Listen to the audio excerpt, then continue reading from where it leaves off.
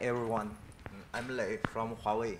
Yeah, I'm Xin from Intel. Uh, today's session is a joint uh, presentation from us.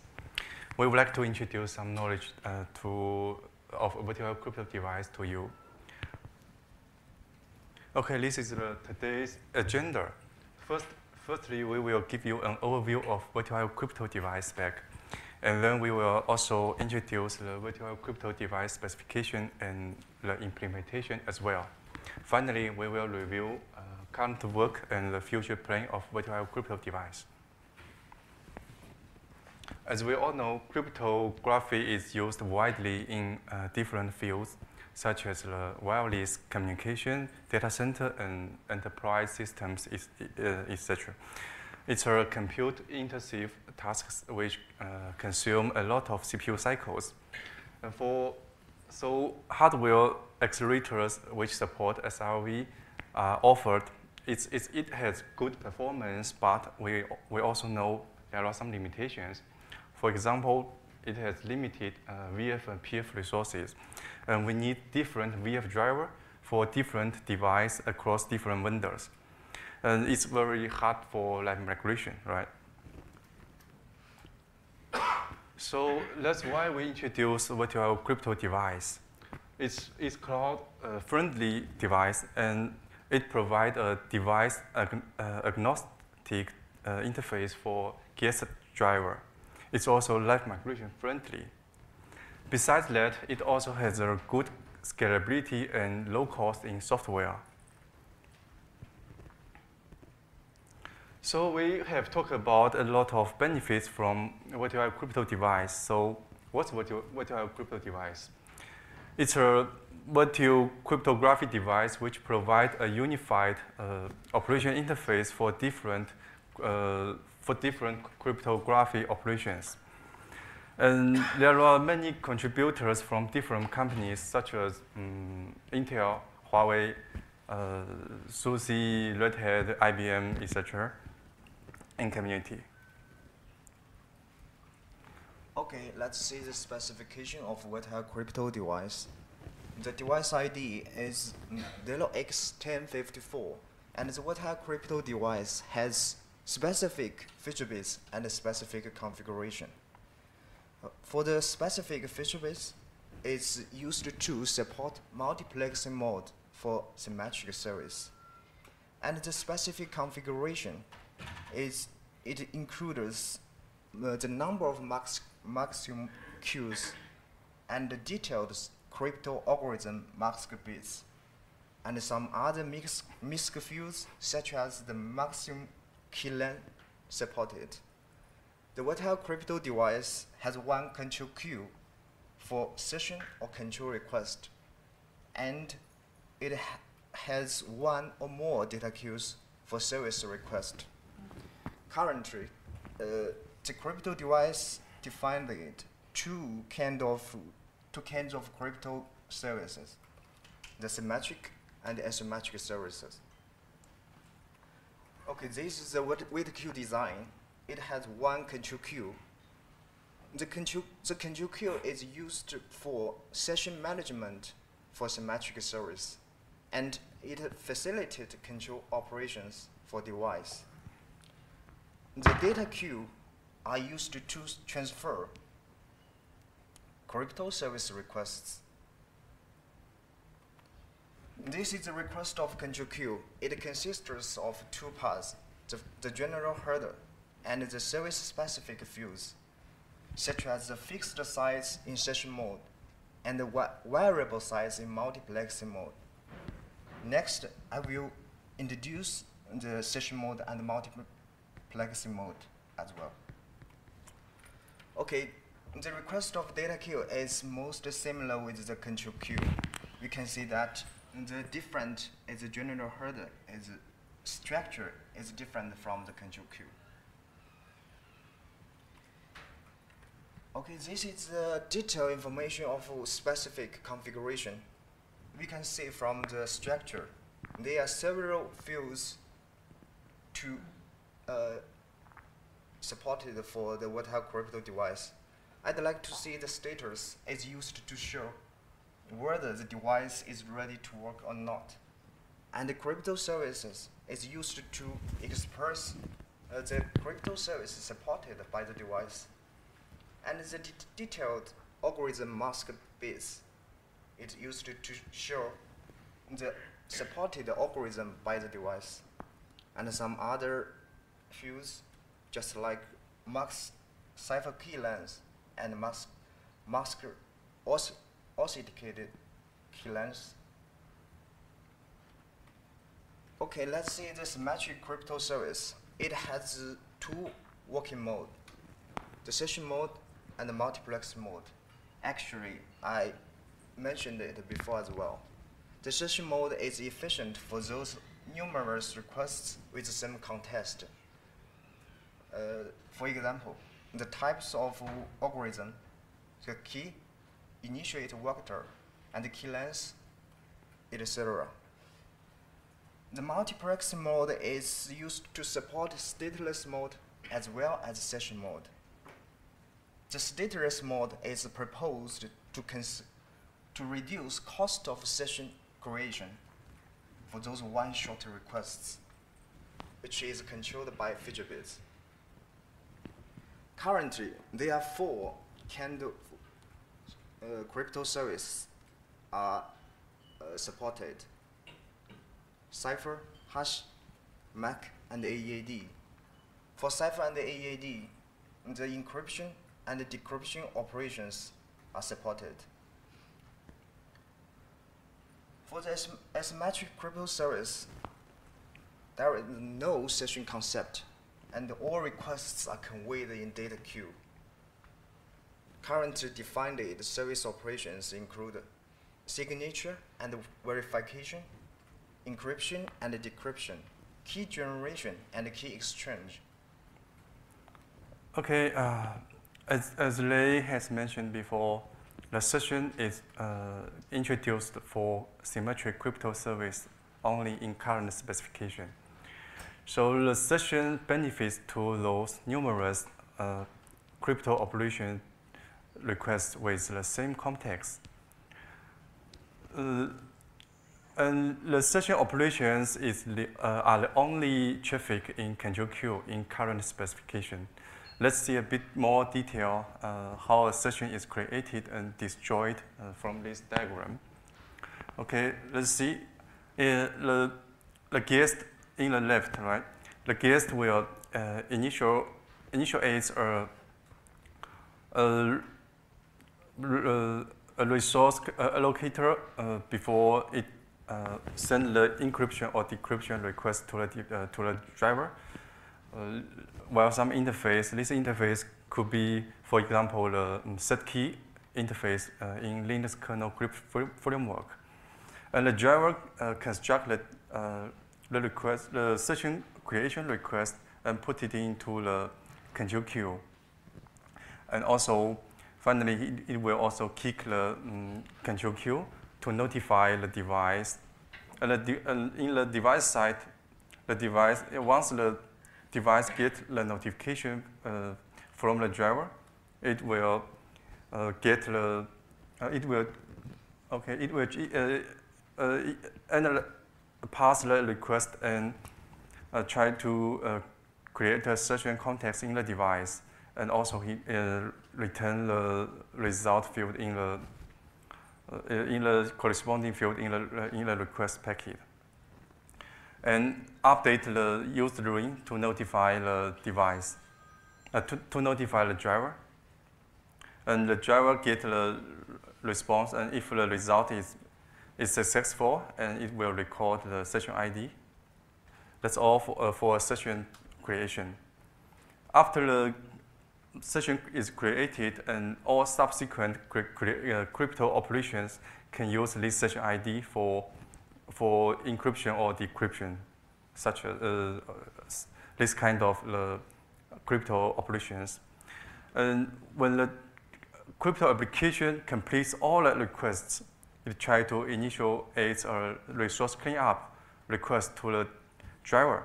And at this point, the driver will um, construct the search and destroy request and put it into the control queue. Also, it, it will noti- uh, kick the control queue to notify the device, the backend device. In the device side, it also has the same uh, handle flow as the session creation. Okay, uh, uh, as Lei also mentioned before, the session is not always needed. When multiplexing mode is negotiated between the device and the driver, the, pack, the, the session can be also encaptured into the data queue and sent to the device directory. Okay, so, so we, we will uh, have a look at the uh, data request in the in next slide. So in this slide, uh, I will introduce the service operations for, for data request. This is the, the main traffic in the data queue. Okay, in, in the left side, the guest crypto application in the guest uh, initialize some uh, crypto operations such as uh, encryption, decryption in Linux kernel framework. And the device will in, uh, in, in capture, uh, in capture this information and construct a request, uh, encryption or decryption request to, uh, and send it to the uh, device. Also, it will kick the device to notify the device there is some available descriptors, uh, available requests, I think, yeah. And then in the device side, it will pass all the parameters from data queue. And if the session mode is negotiated between the device and the driver, the session ID should be uh, extracted from the request packet as well. The, the device will use this this session ID to find a context inside the device and invoke the backend, uh, backend to, um, to, to execute the real crypto application, uh, crypto operations. Finally, it will also up, update the result and also update the used ring and notify the uh, from end driver. But, uh, but we, we can also, also, we also noted the kick and the notify is not uh, required in all, in all cases. It, it, I think it, it, it depends on the implementation. For example, for, for our vhost user imp implementation in the host, the kick is not necessary. The device can also pull the control queue to get all the requests. Oh, maybe the uh, sequence diagram is too small. Sorry about that. Okay, let's see the software implementation about virtio crypto solution. In Guest, the virtio crypto driver can be stored in the Linux kernel space. Uh, Linux space, uh, li sorry, uh, in the Linux kernel. Or you can also use the user space mode driver for the Linux kernel space driver, the driver can be plugged into the Linux kernel uh, crypto framework. The Linux kernel crypt, crypto framework pro, uh, export a set of uh, crypto operations for both symmetric and asymmetric algorithms. But the user space driver is thinking about the performance in the host side, we need to realize the de device implementation. Uh, basically, it's, it includes the uh, virtio device emulation and its crypto device backend. The crypto device backend, oh, sorry.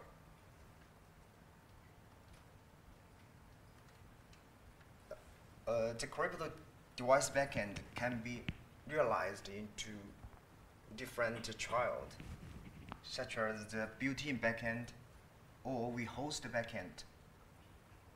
And as the vhost the backend, the server can be implemented in the kernel space and the user space as well. Next, I will show the detail about the crypto device backend. this is the crypto device backend in the QEMU is an user creatable object and is a child of Q, the top QEMU object. It is easily to be realized with different child objects. We can also from the key code in the light side. Uh, the cryptodev back, uh, backend is the abstract interface. This is a built-in backend. It is a child of crypto device backend, uh, which is make use of the crypto APIs in QEMU under the crypto subsystem. There are four implementations in crypto subsystem currently. As the AF_ALG driver in the crypto subsystem, uh, as an example, the Huawei Gas contribute in the driver in the QEMU community. This is vhost the backend. It's another child of CryptoDev backend. There are two kinds of implementations currently. The vhost the kernel client and the vhost the user client. The vhost the user client can be integrated uh, in DPDK, ODP, or libvhost. The, uh, the example command line show here, you can refer to it if you'd like to try. Uh, by the way, we are working on the, uh, vhost the user backend in, uh, based on the DPDK general, vhost the header. And it will be upstreamed in future. Okay, so I, I would like to uh, review our working states and future plans. Uh, as you can see, we have marked all items in different colors. And you can see the different colors uh, re represent different status for each item in the, in uh, in the bottom of this, this page. Actually, uh, in, the, in the spec side, uh, we have pushed out the virtio crypto specification which support asymmetric service and asymmetric service It's still under review. And we would like to uh, support more service, uh, for example, the primitive service as, all, as, as well. In the host side, uh, we, uh, the QEMU uh, virtio crypto device implementation and the built-in backend for symmetric service support has been accepted in QEMU community. And the uh, crypto device vHost user backend client is also under review in QEMU uh, community. And for the uh, crypto dev, uh, built-in crypto dev backend for, to, uh, for asymmetric service support, we are still working on that. And also, just like uh, they mentioned, we are still working on the vHost user for, crypto, for virtio crypto device in DPDK. So in the get side, actually the virtio crypto device uh, from NDriver is accepted by uh, Linux community. Uh, it, it now only supports symmetric service, and we are still working on the asymmetric support in Linux kernel space driver. And we, we are also working on the DPDK, uh, uh, user space polymorph driver in DPDK as well. And in the, in the last item, we it's a, it's a plane. We also try to support more algorithms and multi-data queue or live migration. Okay, uh, uh, as a summary, so virtio crypto solution is a viable solution for cloud, and virtio crypto device has been uh, pushed to the virtual community. And current defined service include symmetric crypto service, uh, asymmetric crypto service. And we have uh, completed the fundamental implementation uh, in this community. You can find the reference code in Linux kernel, in QEMU, or, uh, or maybe in DPDK in future. And we are still working on some service support, for example, asymmetric crypto service support and algorithms Okay, so if you have more questions, uh, if, you, if you need to get more information about your crypto or DPDK or Intel QAT, please uh, visit this link to get more information.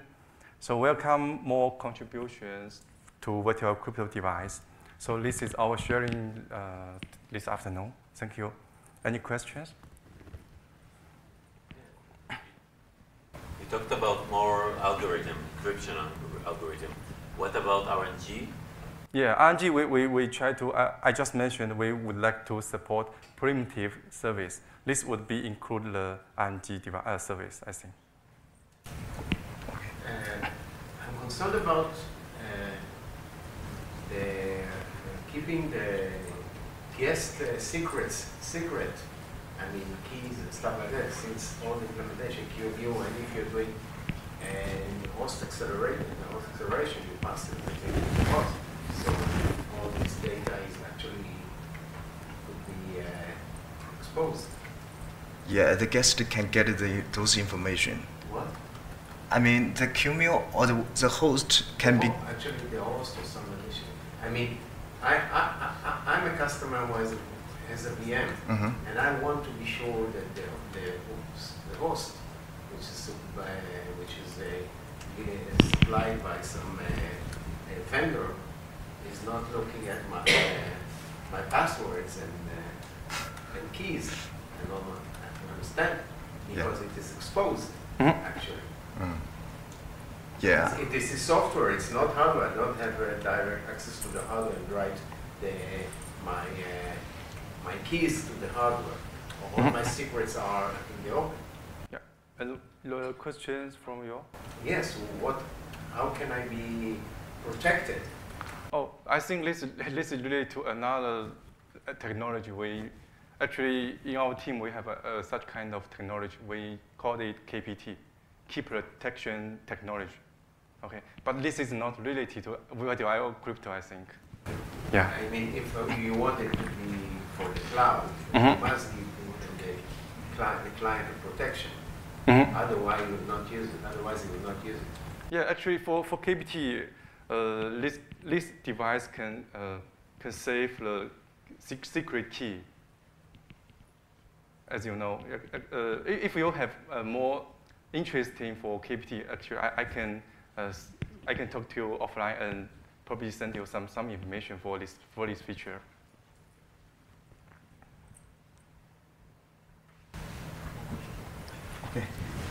Just a quick question because I'm sorry, I was a bit late, so maybe you mentioned it. I just want to confirm. So, from the part that is actually merged, this multi-instance capability of the virtual driver to have multiple instance, it's actually already merged.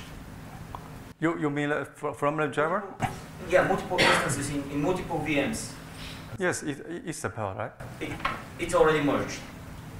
Uh, you mean matched in the QEMU and from the driver? Yes, I think, yeah.